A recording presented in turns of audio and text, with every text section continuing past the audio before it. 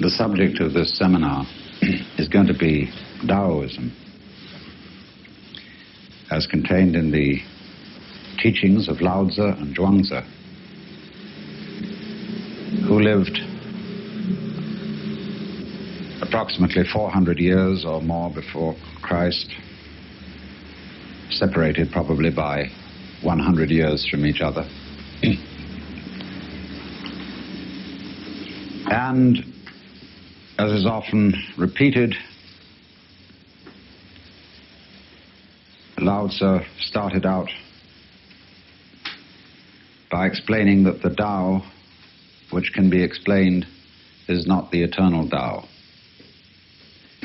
And then went on to write a book about it. also saying, Those who say do not know, those who know do not say.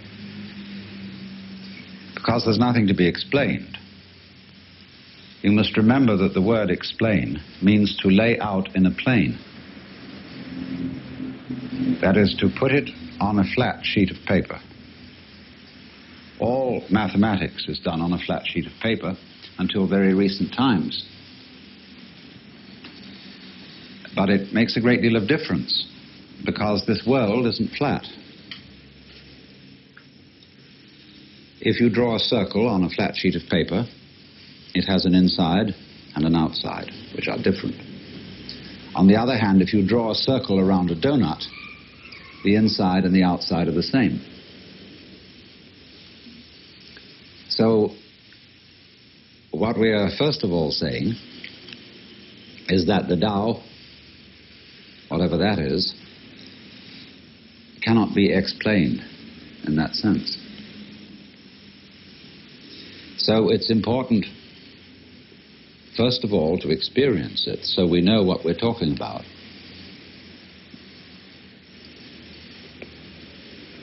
And in order to go into Taoism at all, we must begin by being in the frame of mind which can understand it.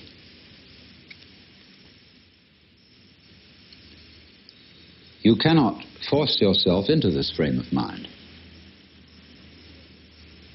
any more than you can smooth disturbed water with your hand.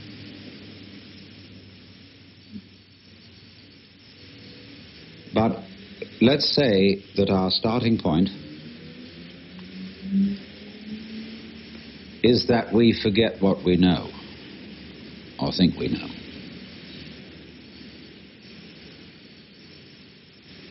That we suspend judgment about practically everything. Returning to what we were when we were babies. When we have not yet learned the names or language,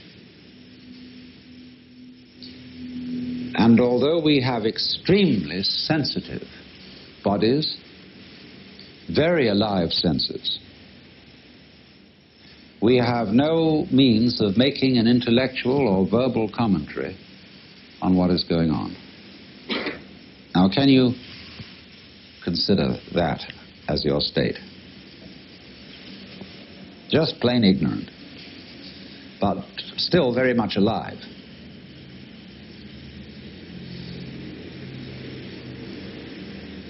And in this state, you just feel what is. Without calling it anything at all. You know nothing at all about anything called an external world in relation to an internal world.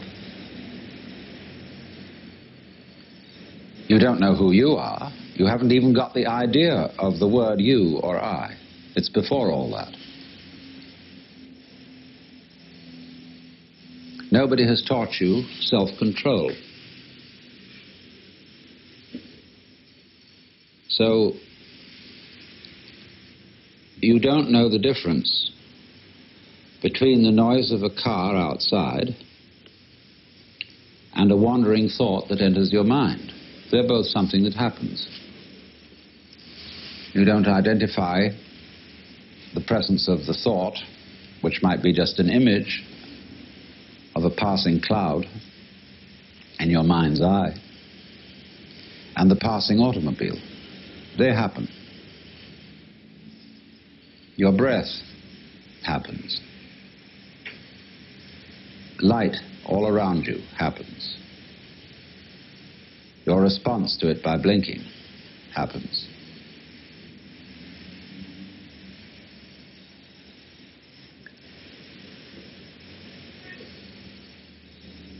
So you simply are really unable to do anything. There's nothing that you're supposed to do. Nobody's told you anything to do. You're unable completely to do anything but be aware of the buzz. The visual buzz, the audible buzz, the tangible buzz, the smellable buzz, all buzz. It's going on. Watch it. Don't ask who's watching it. You've no information about that yet. That it requires a watcher for something to be watched. It's somebody's idea. You don't know that. Lao Tzu says, the scholar learns something every day. The man of Tao unlearns something every day. Until he gets back to non-doing. That's what we're in at the moment.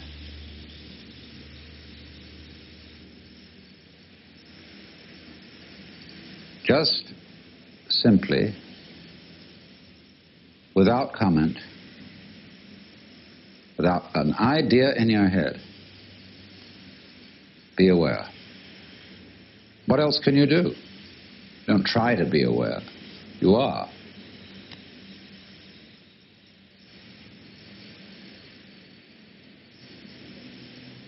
You'll find, of course, that you can't stop the commentary going on in your head, but at least you can regard it as interior noise. Listen to your chattering thoughts as you listen to the singing of a kettle.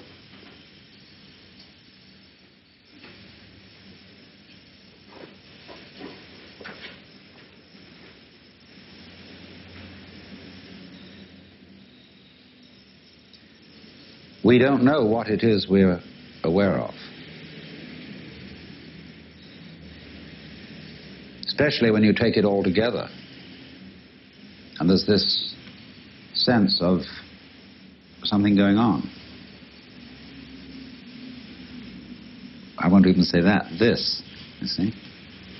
This.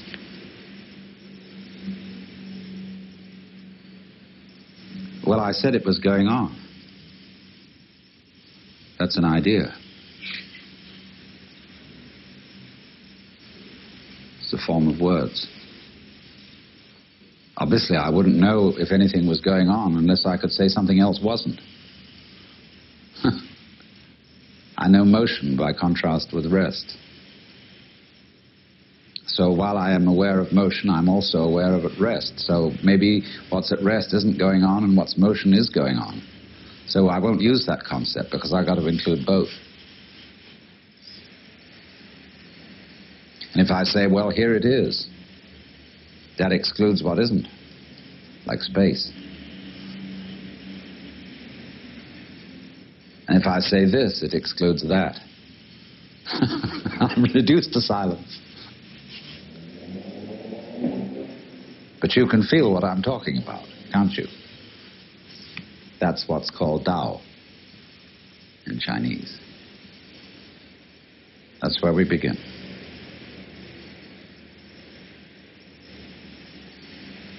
Tao means basically way, and so course, the course of nature, of which Lao Tzu says, Dao Fa Yan, which means that fa, Dao, fa means the way of functioning of the Dao, is Zyan, is of itself so. That is to say, is spontaneous.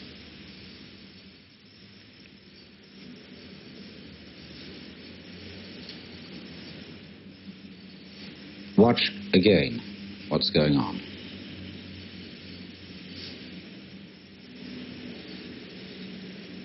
If you approach it with this wise ignorance, you will see that you are witnessing a happening.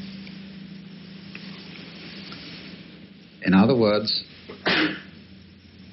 in this primal way of looking at things, there is no difference between what you do on the one hand and what happens to you on the other. It's all the same process.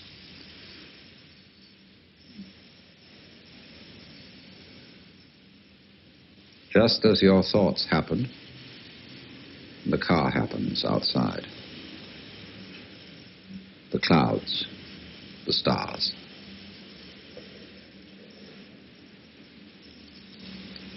When a Westerner hears that, he thinks of fatalism or determinism. That's because he still preserves in the back of his mind two illusions. One is that what is happening is happening to him, and therefore he is the victim of circumstances. But when you are in primal ignorance, there is no you different from what's happening, and therefore it's not happening to you. It's just happening. so is you. You know, what you call you, what you later call you, is part of the happening. You're part of the universe although the universe, strictly speaking, has no parts. We only call certain features of the universe parts of it, you, but you can't disconnect them from the rest without causing them to be not only non existent, but never to have existed.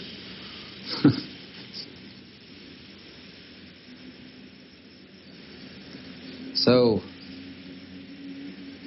when you have this happening, the other illusion that a Westerner is liable to have is that it's determined in the sense that what is happening now follows necessarily from what happened in the past.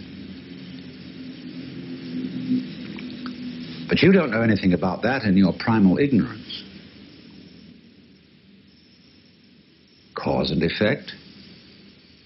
Why, obviously not. because if you're really naive, you see that the past is the result of what's happening now. It goes backwards into the past. Like a wake goes backwards from a ship. All the echoes are disappearing, finally, go away and away and away. And it's all starting now. What we call the future is nothing. The great void. And everything comes out of the great void. That's the way a naive person, and as I explained, if any of you were at my lecture last night, if you shut your eyes and contemplate reality only with your ears, you will find there's a background of silence, and all sounds are coming out of it. They start out of silence. If you close your eyes, listen, just listen.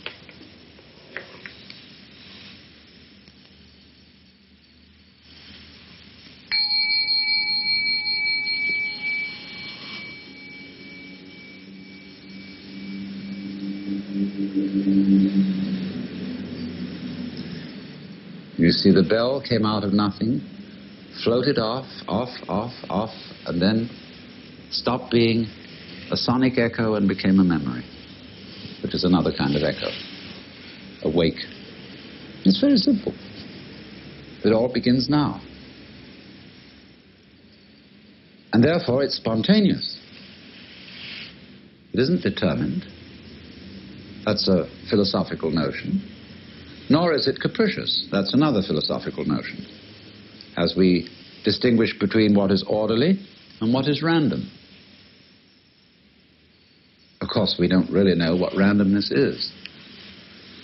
If you talk to a mathematician about randomness, he'll make you feel quite weird. What is so of itself? Sui generis in Latin. That means coming into being spontaneously on its own accord. The real meaning of virgin birth, sui generis. And that's the world. That is the Tao. That makes us feel scared, perhaps. Because we say, well, if all this is happening spontaneously, who's in charge? I'm not in charge. That's pretty obvious. but I hope there's God or somebody looking after all this. But why should there be someone looking after it? Because then there's a new worry that you may not have thought of. Like, who takes care of the caretaker's daughter while the caretaker's busy taking care? who guards the guards? Who supervises the police? Who looks after God? We say God doesn't need looking after. Oh, well then nor does this. Tao. Because Tao is a certain kind of order. And this kind of order is not quite what we call order. When we arrange everything geometrically in boxes or in rows, that's a very crude kind of order. But when you look at a plant, it's perfectly obvious that this bamboo plant has order. We recognize at once that that is not a mess. But it is not symmetrical, and it is not geometrical looking. It looks like a Chinese drawing. Because the Chinese appreciated this kind of order so much that they put it into their painting. Non symmetrical order. In the Chinese language, this is called Li, and the character for Li means originally the markings in jade, also means the grain in wood and the fiber in muscle. We could say, too, that clouds have Li, marble has Li, the human body has Li.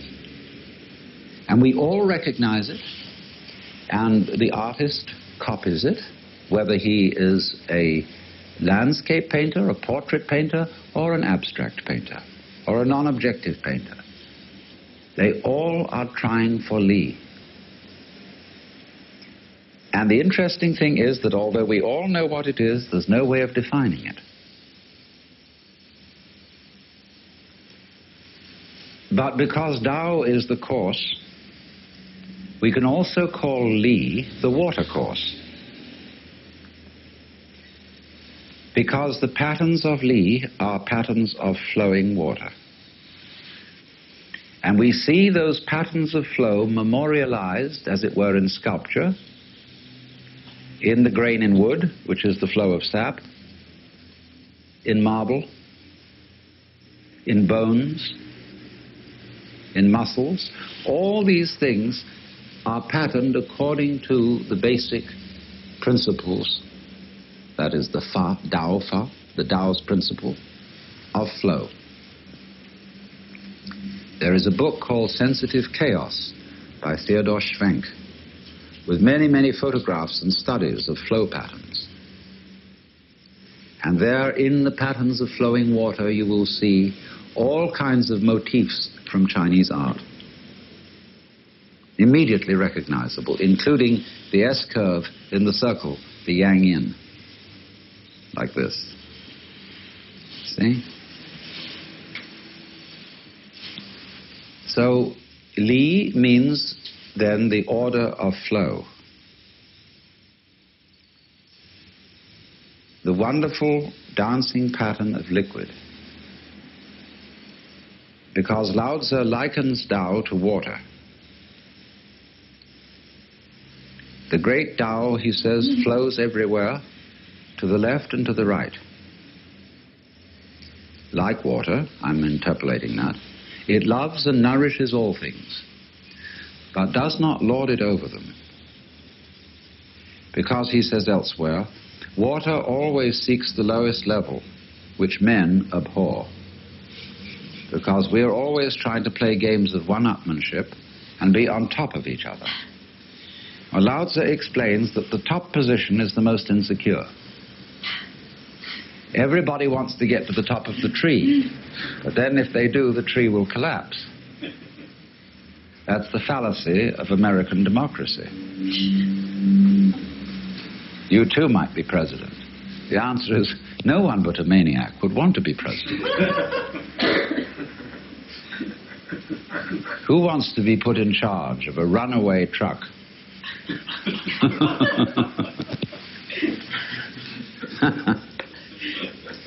so, Lao Tzu says the basic position is the most powerful.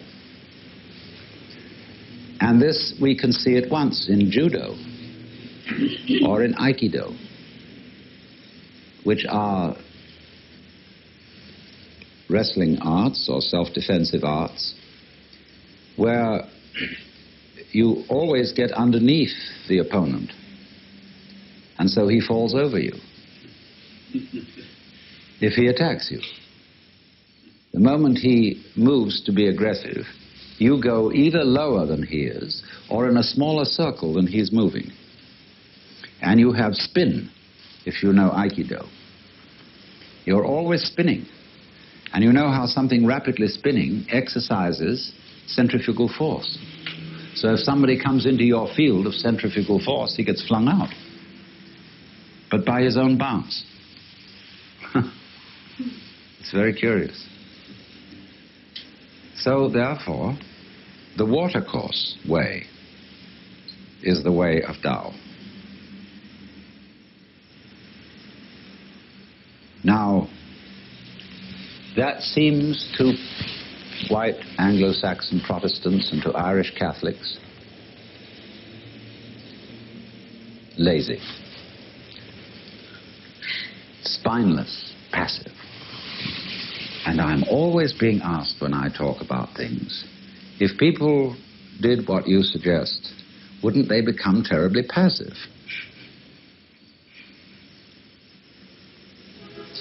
Well, from a superficial point of view, I would suggest that a certain amount of passivity would be an excellent corrective for our kind of culture. Because we are always creating trouble by doing good to other people. You know, we wage wars for people's benefit. and uh, educate the poor for their benefit so that they desire more things which they can't get. I mean, that sounds rather callous. But our rich people are not happy whereas the poor people of Haiti are, to judge by the way they laugh. And we think we're sorry, really, not for the poor, but for ourselves. Guilty.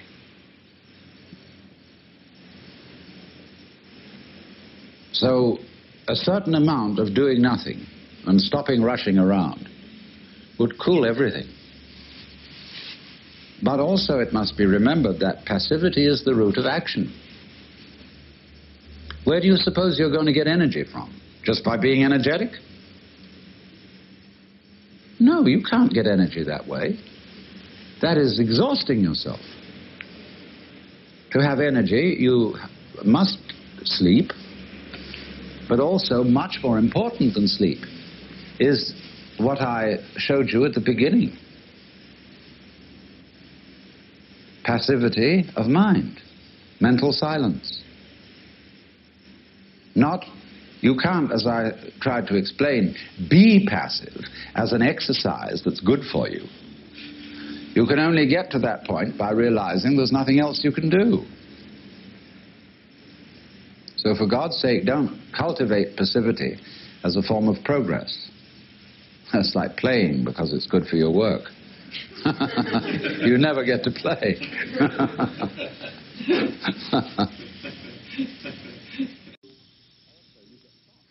also, you get soft. You're not on the qui vive. You develop flabby muscles because you never get involved in a fight.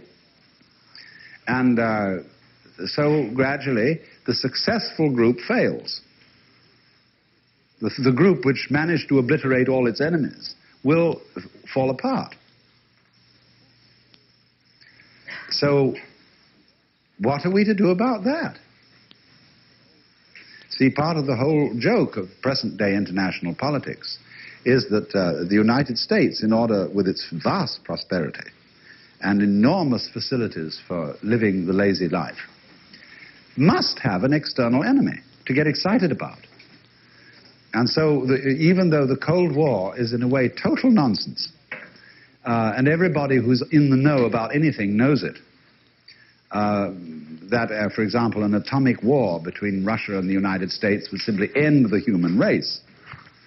But uh, the populace has to be kept bamboozled.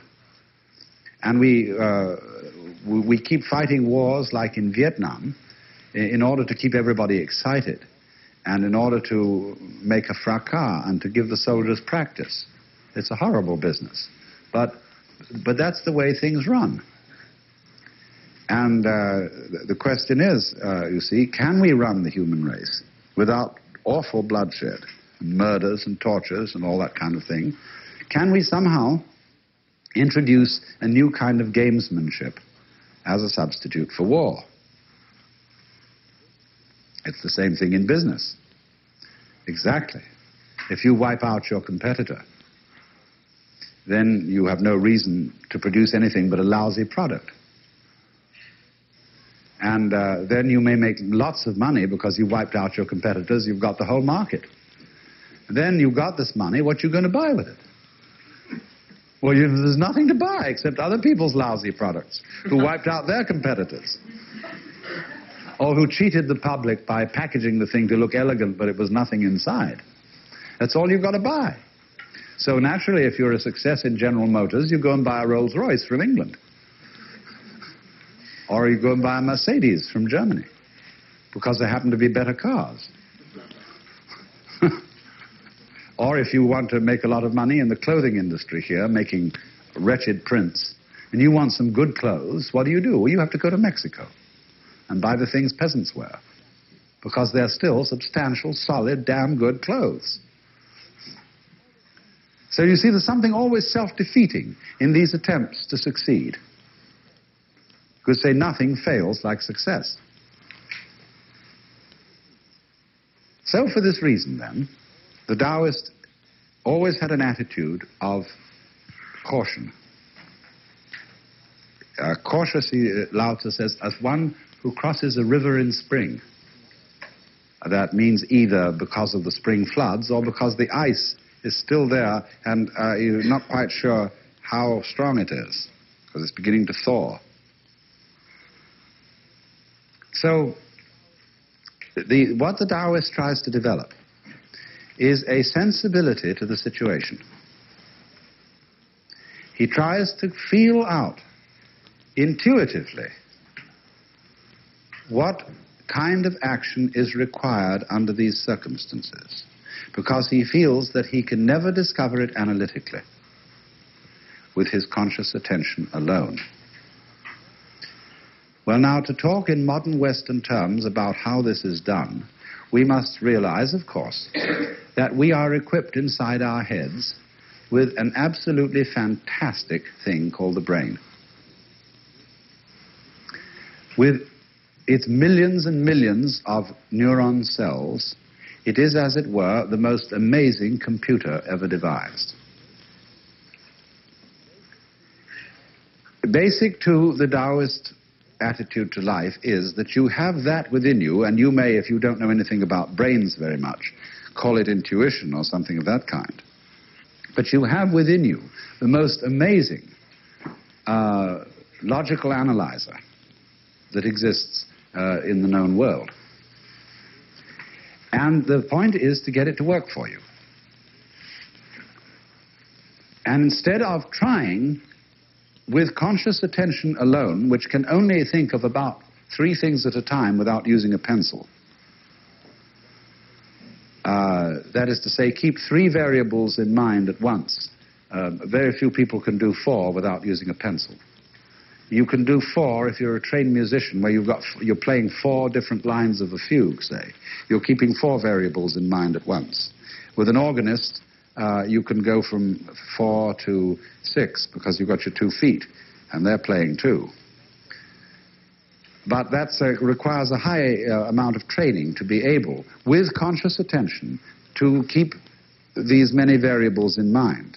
But the world around us has infinitely many variables going in it. And you can reason out something with your conscious uh, verbal thinking. Say you want to make a contract in business, and uh, you figure out how to make it, whether it will be a good contract, whether it will work, etc., etc. And you think of all these things and write them down, and you make the contract, and you think that's fine. But one of the variables that you couldn't possibly include in the contract was that your partner would slip on a banana skin and break his neck. Uh, all sorts of things. I mean, the contract might make provisions in it if your lawyer was thoughtful for what was to be done under the case of the disability of any of the parties thereto, etc. But uh, eventually, there are so many possibilities that can occur that you cannot think of them all. So then the question arises uh, is it within the power of the human brain to comprehend, because of its immense complexity, in a kind of un or subconscious way, what the surface consciousness can never grasp. And uh, the, the Taoist would say certainly it can. But you've got to learn to use your brain by allowing it to go to work on your problems without interfering with it. And then it will deliver you a decision. And this is why uh, when you get to when you get to the real study of uh, Taoist and Zen Buddhist uh, practice, you get to the point where you learn to act without making decisions. Or rather, to use a more exact word, without choosing. Krishnamurti talks a great deal about being choicelessly aware. And he says freedom is precisely the state of not having to choose. Now that sounds quite paradoxical because we're always talking about freedom of choice. But choice is not a form of freedom in the sense of the word. What is choice in the sense of the word? Choice is the act of hesitation that we make before making a decision. It is a mental wobbling. You know, some people, when they take up a pen to write, they don't just write, but they jiggle the pen around indecisively like this and then start writing.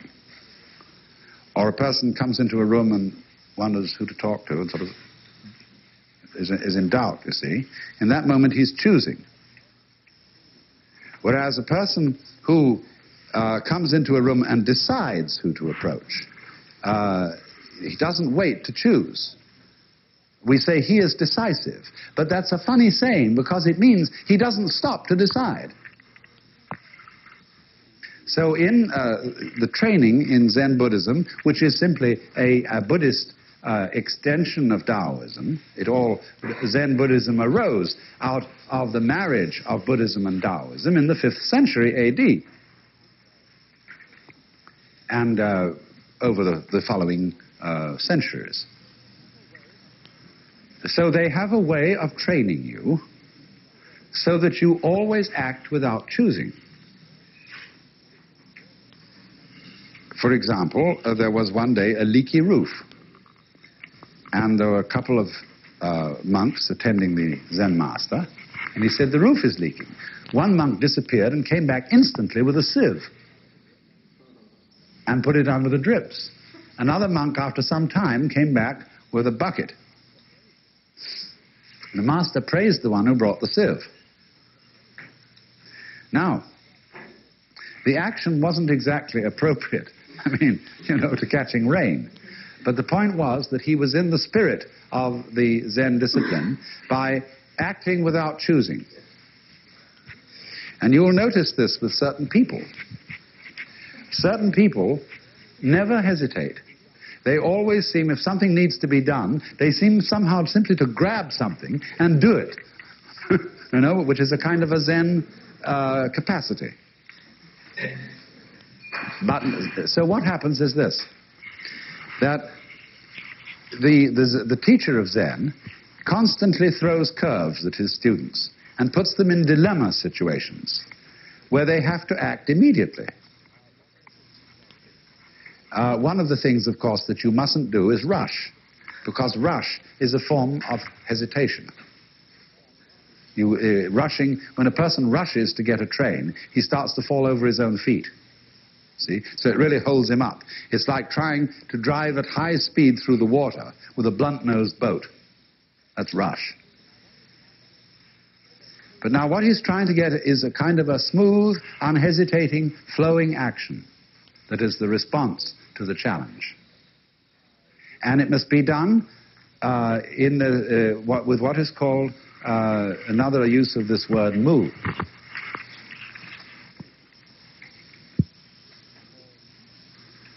This is called wu-nien in Chinese or munen in Japanese.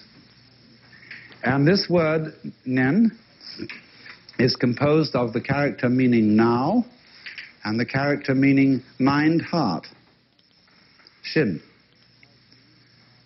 And so has the meaning of a thought, but especially for us, it is well translated by the psychological term blocking.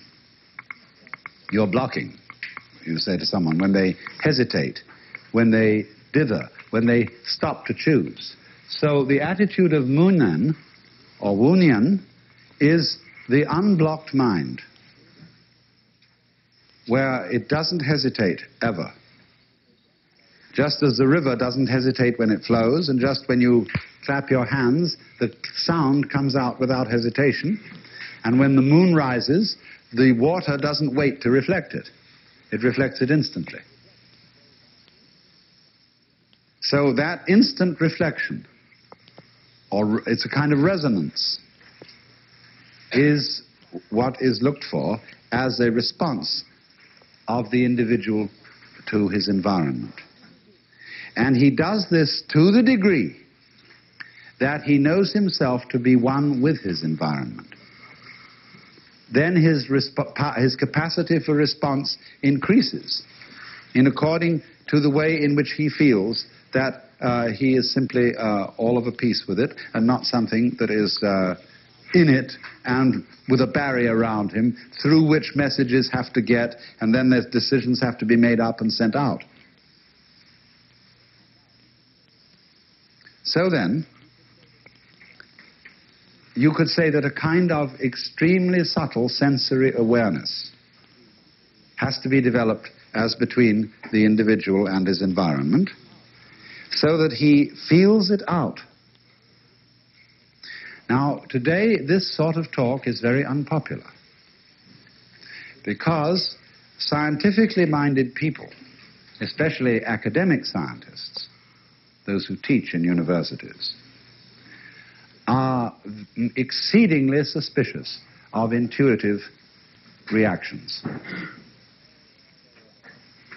They say, oh, blah, blah, blah, blah. You can get into all sorts of trouble that way.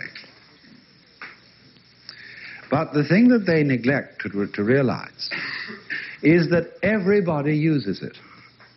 Even the most meticulously careful, analytical, rigorous, sound scientist uses intuitive judgment after a certain point. Why?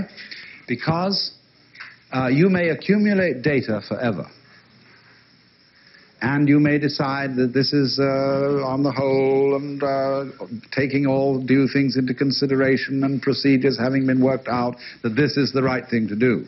Why do you decide then? Mostly because time's up and somebody's pressing for a decision, or else you are bored to death with bringing in data, because you never know much how much data you need to make a certain decision. And therefore, you may go on collecting data till all is blue, but in the last analysis, you'll work on hunch. And so much is actually, in the end, decided by flipping coins. and the pity of flipping coins for making decisions gives you only two choices heads or tails. One way or the other. The Chinese have a more subtle way of flipping coins. They have a method of a 64 sided coin to flip. So that instead of just heads or tails, there are 64 possibilities of coming to a decision when you don't know what to do.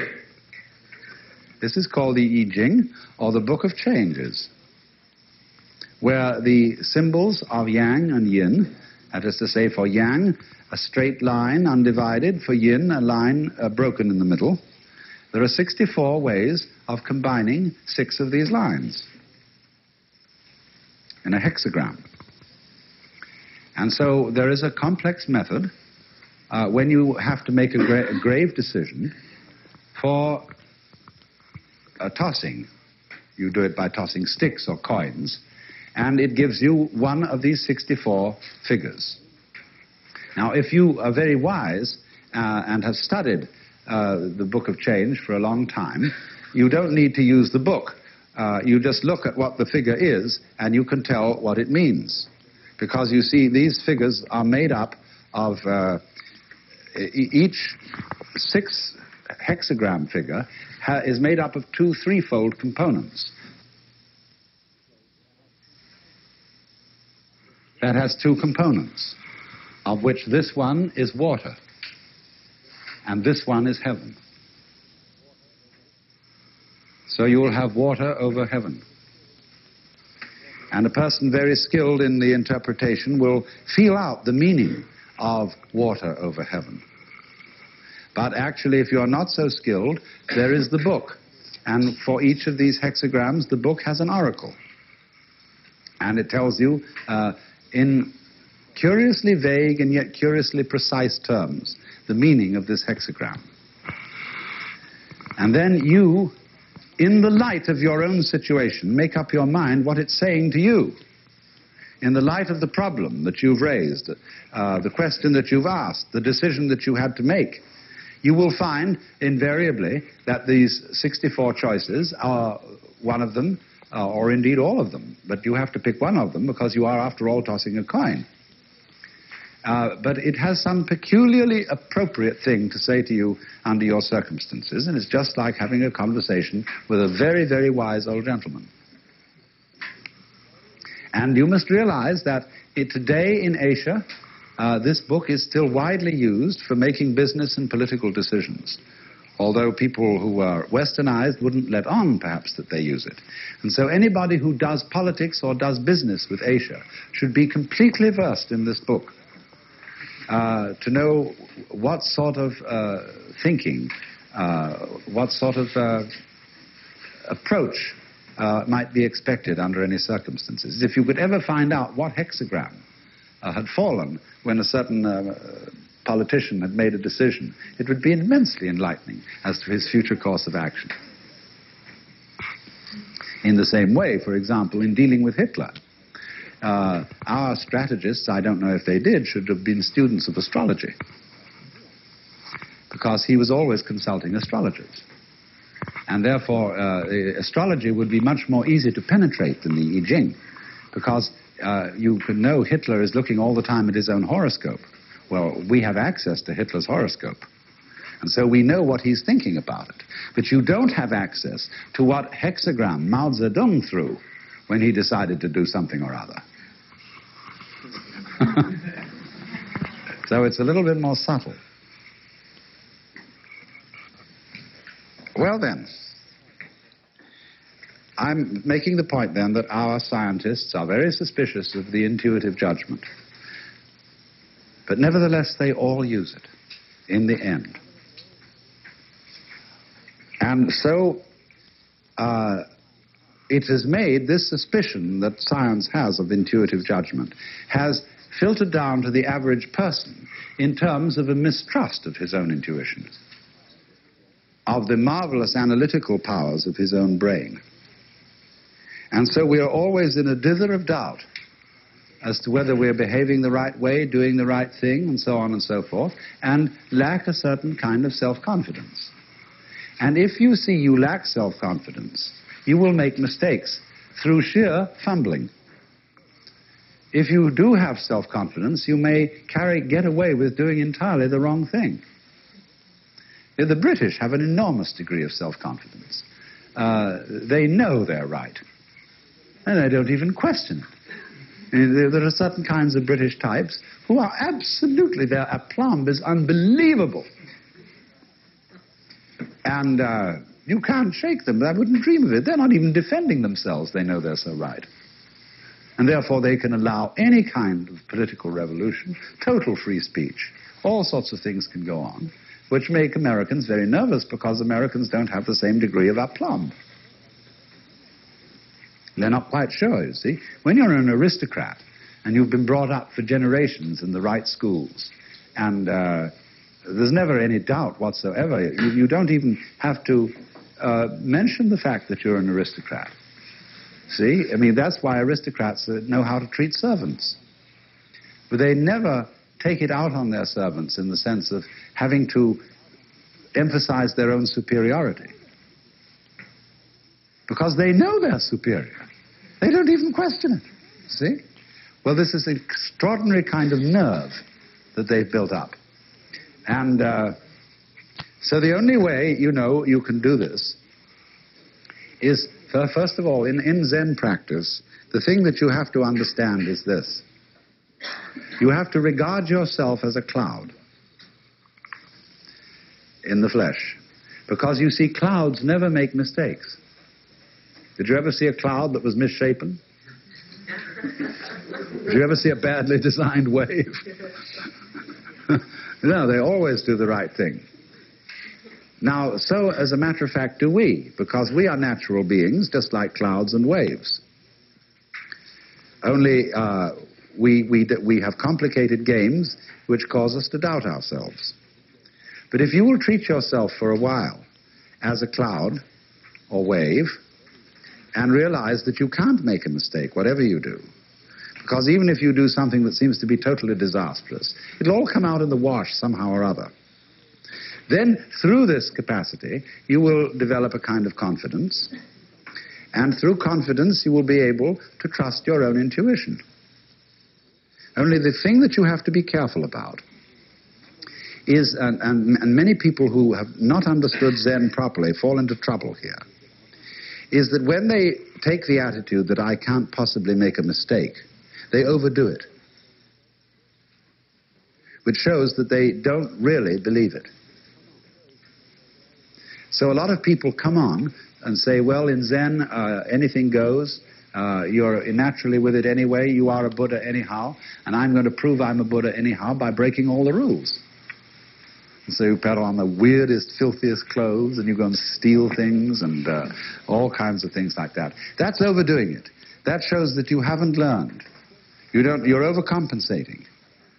Because before you were told to do this, do that, and the other, and watch and be self conscious and nervous and so on. And so you just go to the other extreme.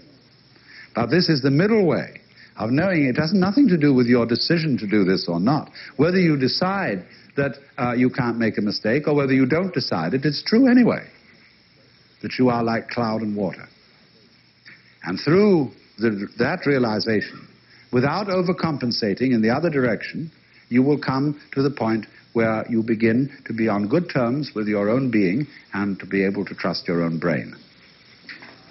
But at that level, you are supra personal. That is to say, uh, when you realize that you stand here as a body.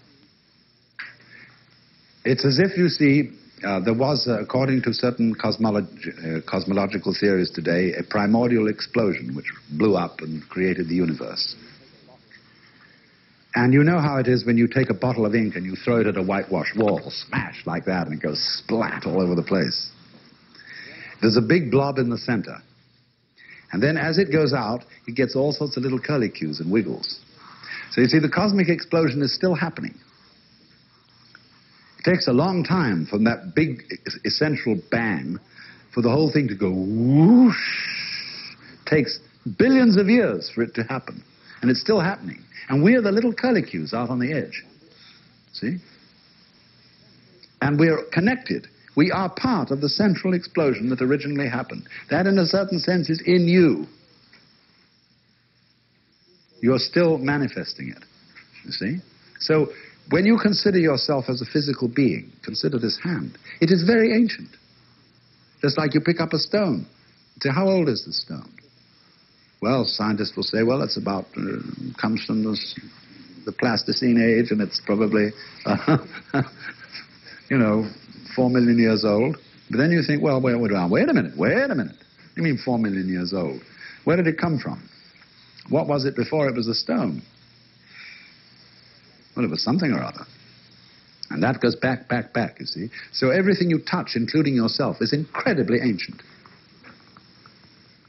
It Goes back to the very beginning of time. So if your mind awakens, you suddenly see all your friends sitting around you looking incredibly ancient. I don't mean in the sense of old and haggard, but like angels, like eternal beings who were always there from the beginning.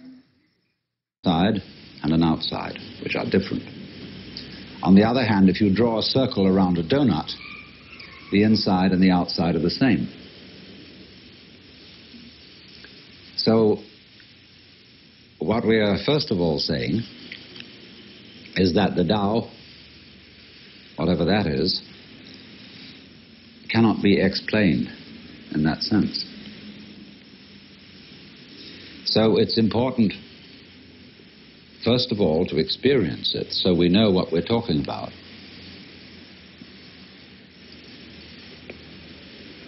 And in order to go into Taoism at all, we must begin by being in the frame of mind which can understand it.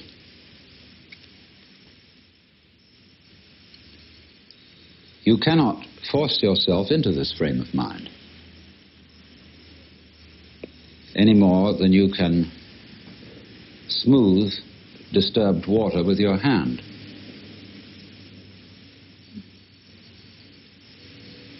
But let's say that our starting point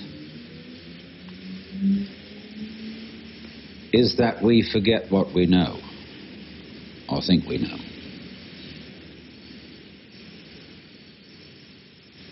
that we suspend judgment about practically everything.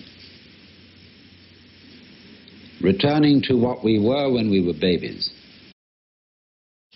The subject of this seminar is going to be Taoism, as contained in the teachings of Lao Tzu and Zhuangzi, who lived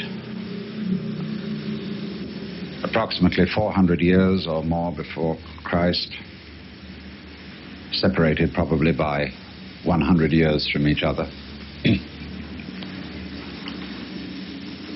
and, as is often repeated, Lao Tzu started out by explaining that the Tao, which can be explained, is not the eternal Tao and then went on to write a book about it. Also saying, Those who say do not know, those who know do not say. Because there's nothing to be explained. You must remember that the word explain means to lay out in a plane. That is, to put it on a flat sheet of paper. All mathematics is done on a flat sheet of paper until very recent times. But it makes a great deal of difference because this world isn't flat. If you draw a circle on a flat sheet of paper, it has an inside. When we have not yet learned the names or language And although we have extremely sensitive bodies, very alive senses, we have no means of making an intellectual or verbal commentary on what is going on. Now, can you consider that as your state? Just plain ignorant, but still very much alive.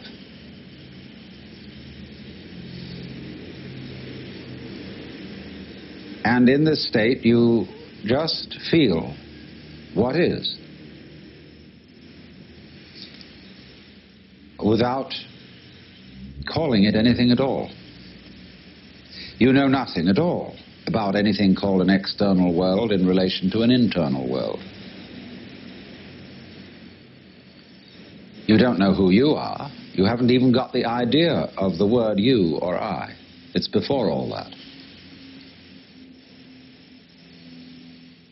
Nobody has taught you self control. So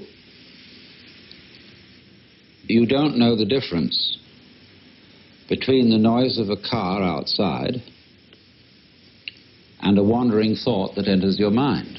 They're both something that happens. You don't identify the presence of the thought, which might be just an image of a passing cloud in your mind's eye, and the passing automobile. They happen. Your breath happens. Light all around you happens. Your response to it by blinking happens.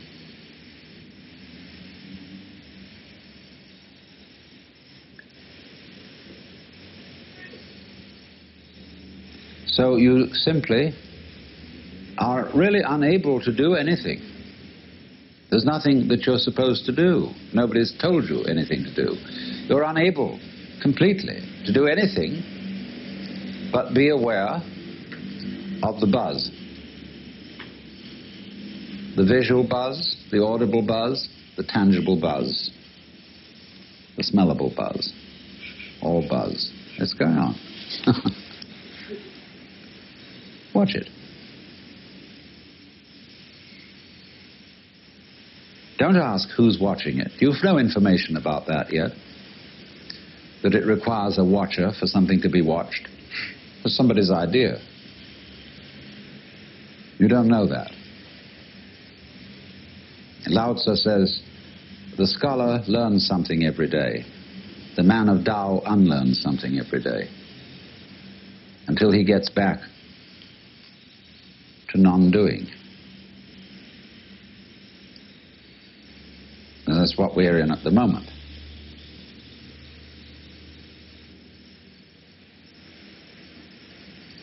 Just simply, without comment, without an idea in your head, be aware. What else can you do? Don't try to be aware. You are.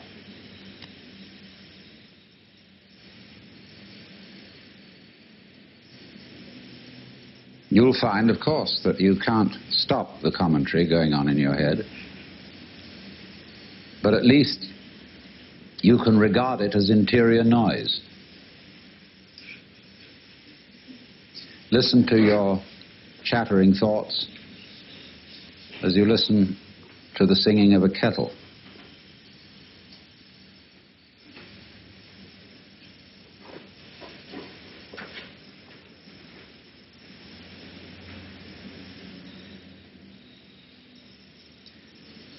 We don't know what it is we're aware of.